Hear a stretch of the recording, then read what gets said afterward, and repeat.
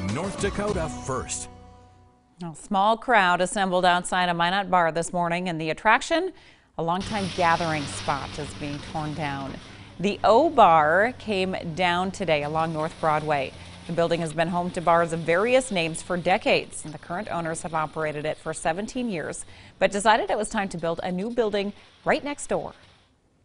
And very bittersweet. There's a lot of history, whether you know it was the O or we've talked to so many people that were here when it was the Vineyard, you know, Tilly's, Payton's Place, and the other. So uh, a lot of people have a lot of memories, being this has been around so long. So it is. It's a it's a bittersweet to see it go. Um, we're excited for the new one. The new O will be two stories with a balcony and an open setup to provide a better venue for music, and it should be open by mid-August. Coming up on KX News tonight at 6, how a group of high school students are learning the meaning of a